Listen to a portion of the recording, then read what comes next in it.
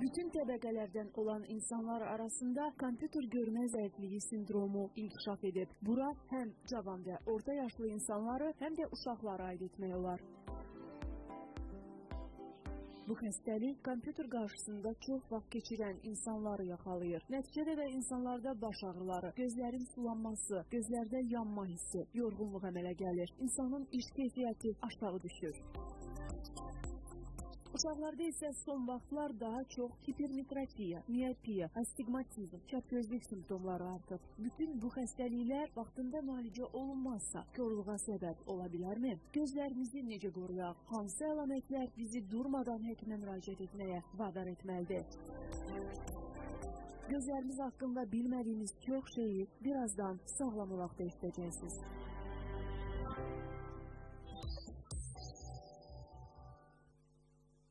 Bəli, anladınız ki, artıq gözlərimizdən danışacağıq. Yəni ki, olmazsa olmaz. Gözlər qəlbin aynasıdır. Təbii ki, əgər ona biz yaxşı qulluq etsək və onun qədrini bilsək, onun üçün gərək gözlərimizi tanıyaq bir orqan olaraq. Çox mürəkkəb və çox vacib bir orqandan söhbət gedir ki, bugün göz xəstəlikləri haqqında nələr öyrənəcəyik. Gəlin bir yerdə həkimimizi dəvət edək və öyrənək. Beləliklə, Avrasiya Hospitalın oftalmoloqu Rəhimə Polxova. Buyurun doktor.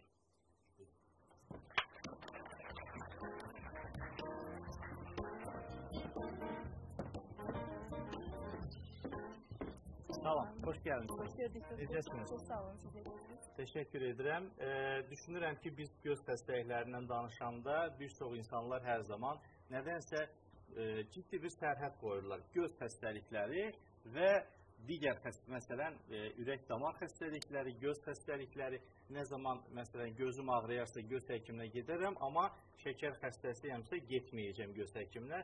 Təzyiqim varsa bunun gözümə nə dəxli var deyirik. Bax, əslində çox böyük əlaqəsi var. Bu gün bu haqda söhbət açacağıq doktor. Buyurun zəhmət olmasa. Əyləşin. Minnətdaram. Gəldiyiniz üçün bu gün biz göz xəstəliklərindən danışırıq və sistem xəstəlikləri bizim e, zamanəmizin bəlası sayılan, çünki say etibarilə ağırlaşmalarla özünü göstərən xəstəliklər sistem xəstəlikləridir. O haqda hansı xəstəliklərdən söhbət gedir ki, gözümüzlə, gözümüzün sağlığına birbaşa əlaqəsi var, aidiyyatı var və e, təbii ki, sonradan isə son peşmanlıq fayda vermir deyirik, Bəli, amma təəssüf. təəssüflər olsun. Biz gələn öndən başlayaq ki, o istiqaməti heç almayaq. almayaq. Doğrudur, sizlə tam razıyam. Bugün bizim e, əsas məqsədimiz bu sistem xəstəliyi olan insanların gözlərində baş verəcək fəsadlarla məlumatlandırmaq, maarifləndirməkdir. E, yəni ki, e, bu sistem xəstəlikləri təbii ki, çoxdur. Biz bunun ən başlıca, ən qabarıq, daha çox gündəlik həyatımızda rastlaşdığımız sistem xəstəliklərindən göz açacağıq, e, söhbət açacağıq. Bunlardan birincisi, ən başlıcası dünyanın bütün inkişaf etmiş ölkələrində belə e, korluqla önlənə bilən korluqla nəticələnən diabet diabetdən başlayacağıq danışmağa və diabetin gözə verdiyi zərərlərdən danışacağıq. E, şəkərli diabet nədir? Öncə bir qısa cümlə ilə bunu izah edək, hər kəsə aydın olsun. Şəkərli diabet qanda glukozanın artıq olmasıdır. Yəni bu bir birinci tip, ikinci tip var. Birinci tip insulin yetməzliyindən dolayı şəkər e, glukoza qanda artıq olur. İkinci tip isə daha çox yaşlıların xəstəliyidir. 50 yaşdan yuxarı insanlarda bu baş verir. Bu ə, insulin var, amma ə, glukozanı toxumalara çatdıra bilmir. Bu ən, Yəni ən xırda damarlarda e, baş verir. insanların anlayacağı tərzdə ki, şəkər xəstəliyi ilə Şəkər edirik. xəstəliyindən bəhs edirik. Bu şəkər xəstəliyi daha çox xırda damarları başlayır zədələməyə. Bunlardan böyrək, ə, ürək və beyin damarlarının həmçinin də ə, gözü biz ə, burada vurğulamalıyıq ciddi şəkildə. Gö- Gözün kapilyarlarında artıq tıxanmalar yaranır şəkərə bağlı. Çünki damarın divarında damarın divarında keçircilik pozulur. Tıxanmalar yaranır və orada harda ki ə, damar yoxdur, ora ac qalır. Bu deməkdir ki, hipoksiya olur, işemiya yaranır. Burada ə, bədənimizin isə belə bir xüsusiyyəti var ki, özündən artıq ora yenidən damar əmələ gətirməyə başlayır bədənimiz ki, biz oranı qidalandırmaq üçün damarlar yaradaq. Bu damarlar isə artıq istənməyən damarlardır. Gözün ə, içində yaranan bu damarlar qanamaya meylli damarlardır. Bu biz ən ən qorxduğumuz hissələr bunlardır. Yəni bir sözlə deyək ki, şəkər xəstəsi nə zaman göz həkiminə getməlidir? Şəkər xəstəsi şəkər diaqnozu qoyulduğu andan göz həkiminin müayinəsindən keçməlidir. Göz həkimi gözün bəbəyini böyüdərək, gözün arxa qismini hansı ki şəkərə bağlı sırf zədələnəcək, ilk başda zədələnəcək hissələri detallı müayinə edir. Orada yarana bilən, şəkərə bağlı yarana bilən dəyişikliklərə, fəsadlara görə pasiyenti növbəti aralıqlarını e, müəyyən edir. Əgər hər şey qaydasındadırsa, heç bir e, fəsad yoxdursa, çünki şəkər 1 ilə 5 aya, 3 aya zədələmir. E, bu 5 illərlə, 10 illərlə sürən bir prosesdir. Amma burada bir aması da var doktor. Mən də onu vurğulamaq istəyirəm. E, doktor buyurdu ki, şəkər xəstəliyi diaqnozu qoyulan andan etibarən, bu demək deyil ki, şəkər xəstəliyi həmin anda yarandı sizdə. Ola bilsin ki, sizin xəbəriniz yoxdur. Bəli. Çünki şəkər xəstəliyi özü özlüyündə bir simptom verməz, amma ağırlaşmaları insanı ya əlil edər, yəni əlil bilsizsə, e, bir var yaşayanlar var, ölənlər. Yəni həyatla ölüm arasında gedib gələn insanlar var. Allah qorusun deyirik hər zaman. Bax bu qrupdan söhbət gedir. E, ya bu qrupa gətirib salacaq sizi, onlardan biri də görməyinizin itirilməsidir. Yəni deyirik ki, beyin damarı tutulur, insult keçirirsiniz. Ürək, ürəyi qidalandıran koroner arteriya tutulur infarkt, miyokard infarktı keçirirsiniz. Bəs o zaman niyə göz damarlarımızı düşünməyək ki, bax Bəli. söhbət bundan gedir. Kör olur. Bəsit bir məsələ. Görmə qabiliyyətimiz itir. Bəzənsə e, tamamilə bu geri artıq gecikmiş bəzi hallarda geri dönməz bir nəticə ilə çox azdırmı belə xəstələrin sayı? Yəni görməmizi itirmək, itirməmək naminə şəkər xəstələri, bütün şəkər xəstələri, bax çox geniş populyasiyanız Həqiqətən bu populyasiya hədsiz çoxdur. Ölkəmizdə də sayda çoxdur artır, elə, sayda artıqdır. Hər kəs buyurun, müraciət edin. Avrasiya hospitala məhz oftalmoloqa da yaxınlaşın. Bir tərəfdən siz e, şəkərin var deyə dərman içirsiniz, digər tərəfdən anidən görmənizi itirsəniz o zaman bunun hesabını kim kimdən soruşacaq? Siz kimdən soruşacaqsınız? Məncə sizdən soruşacaqlar. Kim soruşacaq? Mən deyəcək, mən deyim sizə ən azından vicdanınız. Çünki siz ailənizə, övladlarınıza, e, cəmiyyətə və kənar ətraf sizə əhatə edən insanlara lazımsınız. Çünki bir cəmiyyətin bir parçasısınız. E, doktor, e, dedik ki, gəlsinlər Avrasiya Hospitalı müraciət etsinlər və qeyd etmək lazımdır ki, onların müayinəsi, göz müayinələri etaplarda? Hansı etaplardan ibarətdir və hansı aralıqlarla bu müayinələr olmalıdır? Aha, e, bunu tamaşaçılarımız üçün açıqlayaq. İlk başda göz müayinəsi, göz damlası qoyularaq bəbək genişlədərək aparılan bir müayinədir. Öncədən aparırıq, görməsi yoxlanılır, göz təzyiqinə baxılır və göz dibi bəbək genişləndikdən sonra müayinə olunur və şəkərə bağlı dəyişiklik varmı, yoxmu aydınlaşır. Yəni gözümüz yeganə orqandır ki, biz ora baxaraq damarları açıq şəkildə görürük. Bədənimizin digər bir hissə, sahəsində, hissəsində bu yoxdur. Yəni gözümüzə baxarkən, damarlarına baxarkən bədənimizdə olan bütün xəstəlikləri orada görmək mümkündür. Nəinki şəkər, hətta təzyiq, hətta digər e, revmatizmə bağlı xəstəliklər. Bunlardan danışacağıq, etap-etap danışacağıq. Deməli, e, bu xırda damarları tutan e, müayinəmizi necə aparıb yekunlaşdırırıq? Dediyim kimi, bəbək genişlənir, göz dibi damarlarına baxılır. Bəzən olur ki, xəstələrə şəkəri biz diaqnozunu qoyuruq baxarıq göz dibindəki dəyişikliklərə xəstəyə deyil. damarları biz e, monitorda Çox görürük. Çox olar, bəli. Burada izləyək. Bu, e, deməli, bizim sağlam gözümüz... Qarşı tərəfə zəhmət olmasa keçin ki, daha ətraflı bizdə ortada monitoru görmüş olar. Hal-hazırda nəyi görürük Hal-hazırda biz görürük gözümüzün dibini. Retina deyilən, gözün kökü deyir buna Aha. xəstələrimiz daha çox. Gözün arxa qismi. Onun şəklini görürük, orada görmə mərkəzimiz və görmə sinirimizi görürük. Normal göz dibidir, damarlar, Görmə mərkəzi görmə sinir, hər şey qaydasında. Bu isə bizim e, hospitalımızda da mümkündür bu tomoqrafiya, optik koherent tomoqrafiya, yəni OCT çəkilir. Bütün diabet xəstələrinə bu çəkilməlidir. İndi aydınlaşdıracağıq nəyə görə? Deməli, normal OCT-miz artıq diabetin bütün fəsadlarını e, görən xəstəmiz, e, makula ödem, qansızmalar, ə, burada görünür hər şey və ə, o CT-də gördüyünüz kimi makula ödemləşib qalxıb. Yəni xəstələr təəssüf ki, bizə çox vaxt bu hallarda gəlir. Nəyə görə? Çünki bizim 90%-imiz 90% görməmiz makulanın hesabınadır. Periferiyadan görürük hardasa 10%. Makulamızda kiçik də olsa bir dəyişik artıq bizim görməmizə mane olur. Dirək həkimə gəlirlər. Bu vaxtda gəlirlər. E, bu bu vaxta çatmadan öncə e, makulada dəyişiklik olmur, amma xırda damarlar, periferiyada qansızmalar, nöqtə şəkilli dəyişikliklər təbii ki, baş verir. Bu artıq makular ödem səviyyəsinə gəlmiş, ciddi tələb edən bir xəstədir.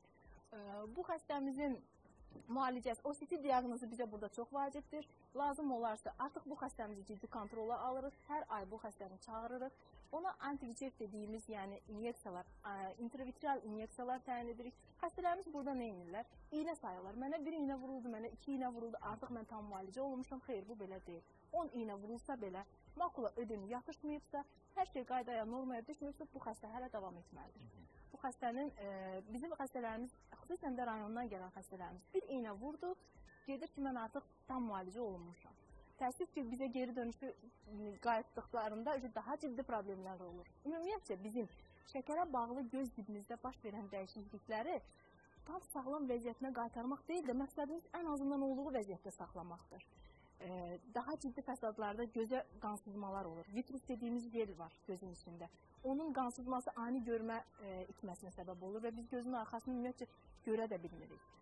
Bundan başqa gözün dediyim kimi arxa qismində istənməyən damarlar demişdim, hansı ki, onlar qanamaya meyli və göz içinə qan verən damarlardır. Onlar tez-tez partlayırlar və qan dolur gözün içinə. Onlar həm də gözümüzün bax bu qüzehli qırsa dediyimiz iris təbəqəsində də yaranırlar. Bu ikincili qlaukoma üçün artıq bir siqnaldır. Çünki gözümüzün içində bir maye dövranı var.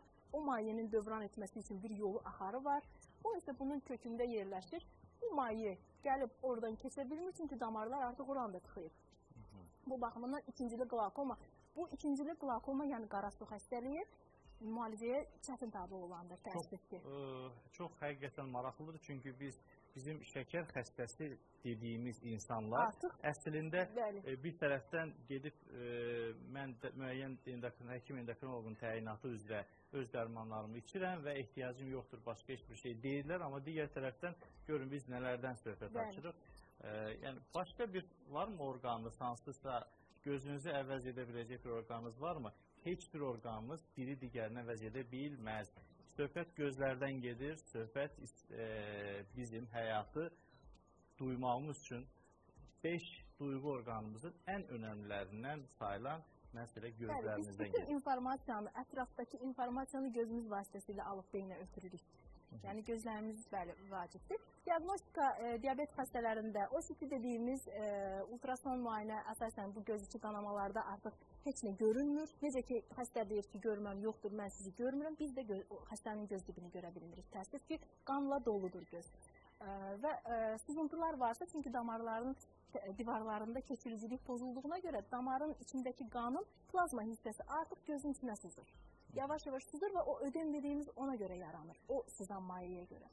E, müalicəsində ə, ə, ilk başda lazer, e, çünki orada istənməyən damarlar yaranır, işemik ocaqlar yaranıb, onları yandırmalıyıq. İstənməyən damarlar olmamalıdır gözümüzdə. Antiviçev də xəstəyə uyğun seçirik. Bizim ə, kontrolda olan xəstə sayımız çoxdur.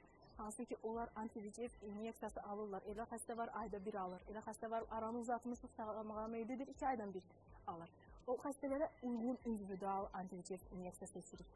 Yəni bu bir dəfə ilə seçilən bir şey deyil. Baxılmalıdır, göz təzyiqi verirmi, ikincili katarakt yaranma ehtimalı var, xəstə katarakt əməliyyatı keçirdikmi? Bütün bu nüansları öz kontrolumuzda saxlanırıq. Və mən çox ə, bu problemin bu dərəcədə aydınlıq gətirir. Əslində şəkər xəstələri sizdən söhbət gedir. Diqqətiniz bizdə olsun. Əminəm ki, indi nəsə fikriniz qarışıb ekran önündə başqa yerə baxırsınız. Ola bilər işdəsiniz, ola bilər ə, evdəsiniz, ola bilər ki, yoldasınız. Amma söhbət ondan gedir ki, diqqətiniz bizdə olsun, bir tək yol gedənlər xaric. Ə, şəkər xəstələri, gözlərimizi itirə bilərik və bunun üçün nə etmək lazımdır? Müraciət etmək lazımdır Avrasiya Hospitala. Məhz həkim mütəxəssisimiz bugün göz xəstəliklərindən danışır. Hansı göz xəstəliklər? Hansı ki, hər birinizin bildiyi şəkər xəstəliyi, bax indi təzyiq xəstəliyindən də danışacağıq. Təzyiq xəstələri, onun ağırlaşmalarından biri gözlərimizin itməsidir. Müraciət edin və qeyd etmək lazımdır ki, Rəhimə xanımın qəbuluna Avrasiya Hospitalda 50 faizlik endirim kampaniyası da var. Bax, bu da e, məhz elə doktorun təşəbbüsüdür. Bu da Avrasiya Hospitalın təşəbbüsüdür. Bu deməkdir ki, bu kampaniya məhz elə yeni il öncəsi yaranıbdır və sizlər üçün böyük bir şans yaradıbdır ki, siz müraciət edəsiniz, yaxınlaşasınız gözünüz haqqında məlumatı daha ətraflı biləsiniz ki, və mən arzu edirəm ki, hər bir insana ən azından yeni il bayramını və qarşıdan gələn dünya Azərbaycanlıların həmrəylik gününü birinci sağlamlıq bir şəkildə e, yaşasınlar, ailələrinə, övladlarına, valideynlərinə, onları əhatə edən dəyərli insanları hər zaman görsünlər, hər zaman sevindirsinlər. Bax bu məqamdan şəkər xəstələri diqqətinizi bizdə olsun. Biz isə bir daha buraları 50% həkim qəbuluna endirim kampaniyasından söhbət gedir. Buyurun, məhz bax aşağıda gördüyünüz telefon nömrəsinə zəng edin. İndidən elə yazılın. Sonra zəng etdim, telefona düşə bilmədim deməsinlər. Biz e, təzyiq xəstəliyi ilə danışaq. Təzyiq xəstəliyinin daha doğrusu gözə təsirindən biz bəhs edəcəyik. Hansı fəsadlardan söhbət gedir? E, deməli, yüksək təzyiqli insanlar e, çox təəssüf ki, təzyiqlərini normada saxlamırlar. Bu normada olmayan təzyiq birbaşa gözdə zərər verə bilər. Nə, hətta gözdə, ürəkdə və beyində o tromb əmələ gəlir. Bu gözdə də əmələ gələ bilər. Aha. Gözün mərkəz arteriyası, gözün əsas iki bir arteriya venası var, onun iki şaxəsi. Görürsüz, burada 4 dənə damar var. Yəni burada tıxanıqlıq baş verərsə görməmizdə qalıcı xəsarət verən çox ciddi problem yaranır. Yəni mərkəz arteriyanın trombu dedikdə, arteriyanın trombu dedikdə görmənin E, sıfıra qədər düşə bilər. Yəni o dərəcədə ciddi problemdir və müdaxiləni tez tələb edən bir problemdir. Yəni ilk 5 dəqiqə ərzində, ilk 10 dəqiqə ərzində görməsi tam düşən xəstə ümumiyyətcə bunun səbəbini tez araşdırmalıdır. Ola bilər ki, hipertonik mənşəlidir. Əgər bu mənşəlidirsə, çox ciddi problemdir. Burada albalı şəhirdəyi dediyimiz bir simptom görünür göz dibində. Sadəcə fovea makulanı görə bilirik. Digər hissələr tam avazlayır, çünki artıq qidalanma yoxdur qidalamayan, qidalanmayan toxuma nə qədər dözə bilər? Hətta çox paradoksal bir hal yaranır ki, bəzən gözləri qıpqırmızı gələn insanlar var. Bəli. E, nə oldu? Təzyiqim yüksəldi, Bəli. mən artıq alışmışam buna. Sanki təzyiq yüksələndə mütləq göz qızarmalıdır. Əslində belə bir şey varmı və Niyə gözümüz qızarır Aha, həmin zaman e, və bunun təhlükəsi nədən ibarət ola bilər? Bir şey mən e, şiddətlə vurğulamaq istəyirəm ki, bütün göz xəstəlikləri qırmızı göz fonunda keçə bilər. Aha. Biz bundan sonra da danışacağıq revmatizmə bağlı göz xəstəlikləri, quruluq və s. və s. Bütün göz xəstəlikləri qırmızı gözlə başlayır. Yəni bunu a, aydınlaşdırmaq lazımdır digər əlamətlərə görə daha çox ə, e, hansı xəstəliyə yönəlməliyik. Bu müayinə zamanı aşkarlanır gözün ön hissəsindən arxa hissəsinə qədər tam müayinə etməliyik və bu qızarıqlığın səbəbini aşkarlamalıyıq. Çünki bütün xəstəliklərdə qırmızı göz yaranır. Yəni uveit dediyimizdən hipertonik kriz var, qlaukomanın e, krizi. Orada da xəstə qırmızı gözlə gəlir. Uveit iltihabi bir prosesdir, qırmızı gözlə gəlir. Sklerit. Az birazdan bunlar haqqında ətraflı məlumat verəcəm. Buyurun doktor. E, mərkəzi venanın trombozu. Görürsüz göz içi qandır. Bütün damarlarda e, qan sızmalar var. Bu özü də e, ciddi bir problemdir. E, arteriyanın trombuna nisbətən daha yüngül formadır. Yəni qismən görmə bərpa ola bilər, amma orada da yeni istənməyən damarlar yaranır, dediyimiz fəsadlara gəlib çıxır e, nəticə etibarı ilə. Mütləq OCT çəkilməlidir, e, ödemi varmı, yoxmu, fundus plüsin angiografi deyirik, damarlardan sızıntı varmı, yoxmu, ciddi kontrola alınacaq xəstələrdir. E, keçək digər slaydımıza, e, artıq e, Bu slayda biz baxmışdıq. Daha öncə baxmışdıq. Yəni onu da şiddətlə qeyd etmək istəyirəm ki, bu diabet xəstələri normal xəstələrə nisbətən e, göz e, katarakta və glaukoma, yəni qara su xəstəliyinə iki qat artıq risk, risk, risklidir bu xəstələr. Yəni normal insan e, varis suyu kriterlər olsa da, olmasa da, amma diabet xəstəsi artıq ona namizəddir. Tip billuru da bulanacaq, yəni o dediyimiz müalicəsiz qalarsınız. Yəni diabet xəstəliyinin bizə verməyəcəyi bir fəsad yoxdur. Bəli. Ağırlaşma yoxdur. Biz e, quru gözdən elə az öncə sizə e, qeyd etdiyimiz gözdə kimi quruluq, gözdə quruluq. Birinci şəklimizdə görürük ki, göz necədir? Qızartılı, həssas. Ümumiyyətcə quruluğu insanlar müxtəlif cür izah edirlər. Hərə bir cür. Kimisi deyir gözümə nəsə batıb, kimisi deyir nəsə gəzir onu çıxartmaq istəyirəm. Kimisi deyir yanığı hissi var, gözümü yumuram, açıram, yandırır. Yəni bunlar quruluğun əlamətləridir. Biz bunu e, test edirik. E, adi kabinetimizdə Şpirmer testi dediyimiz və yaranma səbəbini aydınlaşdırır. Məsələn üçün, Sjogren dediyimiz sindrom var, orada da quruluq yaranır. Səbəbi isə ə, revmatizmə bağlı ə, gözün ə, gözün ümumiyyətcə göz qapaqlarının altında vəzlər var. O vəzlərin hərəsinin öz funksiyası var. Su ifraz edən, musin ifraz edən, lipid ifraz edən göz qapağının altında su ifraz edən vəzinizdə problem yaranır revmatizmə bağlı. O vəzlərdə elə bil ki, sekresiya artıq olmur. Bu tək gözdə deyil də bədənimizin bütün, hətta vajinada belə sekresiya azalır, e, Şögrel sindromu qoyulur. Ağız suyu, ağızda quruluq yaranır. E, bu e, Şirmer testi ilə və yaxud fluoresin testi ilə dəqiq diaqnozu qoyulmuş xəstələrə mütləqdir ki, müalicə başlamaq. Ə, növbəti slaydımıza keçək. Ə, digər ə, revmatizmin, sistem xəstəliyi olan revmatizmin gözdə verdiyi ə, ağırlaşma. Sklerit, episklerit. Sklerit daha yüngül formada keçir. Görürsünüz, gözün ağ hissəsindədir. Qızartı. İşte, xəstə gəlir ağrı ilə, əl, əl vuranda, toxunanda ağrı var. Görmə ə, qüsuru vermədən, yəni görməmizi korlamadan müalicə olunub keçən bir xəstəlikdir. Episklerit isə daha dərin formadadır. Yəni o qızartı ə, biraz gec sağalır, hətta gör, bu ağ hissə dediyimiz skleranın deşilməsinə qədər gətirib çıxarda bilər və gecə xəstəni yuxudan oyadan ağrı olur dediyiniz qırmızı gözlər e, görürsüz neçə cür xəstəliklər qırmızı göz. Bəli, bəli. Növbəti slaydımıza keçək. O şəkildə başlayır. Yəni bəzi revmatizm xəstələri e, aldıqları müalicəyə görə görmə sahəsindən keçməlidir 6 ayda, 1 ildə bir. Yəni revmatizmdə, revmatoloqda e, müalicə alan xəstə hər şey normal olsa belə göz həkimindən aldığı müalicəyə görə keçsə yaxşıdır, məsləhətdir. E, Digər bir revmatizmin gözə verdiyi ən ağır fəsadlardan biri isə uveitdir. Yəni normal göz bəbəyimiz görürsüz dairəvidir. Bəbəyə işıq, e, reaksiya, işıq e, reaksiyası güclü olur. Mikroskop altında biz onu ayarlayanda görürük ki, bəbək genəlir, kiçilir. Uveit xəstəsində isə təəssüf ki, görürsüz bəbək artıq dairəvi deyil və işığa reaksiya vermir. Bunun e, həm görməni korlayır, ümumiyyətlə uveit öndən arxaya saysaq, ön uveit, orta uveit və arxa uveit olur. Ön uveitdə e, gözümüzdə yenə qızartı, ağrı, işığa həssaslıq və bəbəyimizdə belə pupil bloku deyirik. Bəbək belə bitişir gözün billuruna, gözün içindəki maye dövran edə bilmir. İkincili qlaukoma yaranır. Bəbək bitişdiyinə görə bəbəkdə olan pigmentlər çökür billurun üstünə katarakt da yaranır. E, bundan başqa Gözün arxa hissəsinin uveyti isə gözün mərkəzini və görmə sinirini zədələyir. Hətta görmə sinirinin atrofiyasından gəlib çıxırsa, qalıcı korluq verir. Doktor, e, kifayət qədər geniş bir mövzudur. Zamanımız çox az qaldı. Təxminən bir dəqiqə zamanımız qaldı. Mən istəyərdim e, e, xüsusilə də biz şəkər xəstələrindən bəhs etdik, xüsusilə də e, təzyiq xəstələrindən bəhs etdik, amma heç ağlınıza da gəlməz ki, qalxma bənzər vəzin xəstəliklərindən dolayı gözümüzdə də çox ciddi qüsurlar meydana gələ bilər və məhz mən istəyərdim ki, bu zamandan dəyər, qiymətləndirək, dəyərləndirək, dərhal həkim bu haqda da məlumat versin. Çünki tiroid vəzi xəstələri, diqqətiniz bizdə olsun, nələrə diqqət yetirmək bəli, lazımdır? Bəli, e, tiroid e, vəzinin xəstələrində gözdə başlayır dəyişikliklər verməyə. İlk başda xəstə deyir ki, əvvəlki şəkilmə nisbətən artıq gözüm qabarıqdır, çıxıqdır. Bununla başlayır daha ağır formalarında müalicəsiz qalan tiroid xəstələri göz e, nəinki çıxıqlıq, egzoftalim deyirik.